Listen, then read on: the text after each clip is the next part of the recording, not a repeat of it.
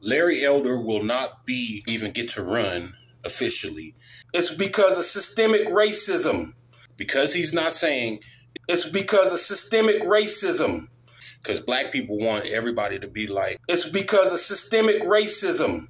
Are the victims. Those same black people will turn around and talk to a man that's down on his ass and say, You're not working hard enough. It's, that's why you're not where you want to be. But then turn around and get on a mic and get in front of everybody and say, It's because of white supremacy. It's because of systemic racism. It's because of slavery. Because of Jim Crow. They're victims. They're victims. Victims. They're victims. Victims. They're victims when they get on the mic. They profit off of the struggle of black people. Like Black Lives Matter, you know what I'm saying? They took they took a black man's death and they ran with it and they profited off of it.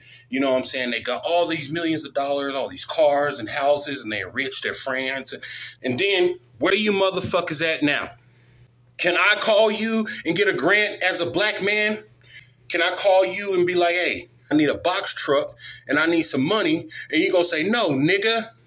It's because of systemic racism. Go get your own money yourself. You're not putting in the work and you're not putting in the grind. But get on this mic, I'm going to say it's because of white supremacy. It's because of systemic racism. It's because of slavery. It's because of Jim Crow, who just got collected billions of dollars on my behalf. On my behalf. And you're going to tell me it's because of systemic racism. That bullshit.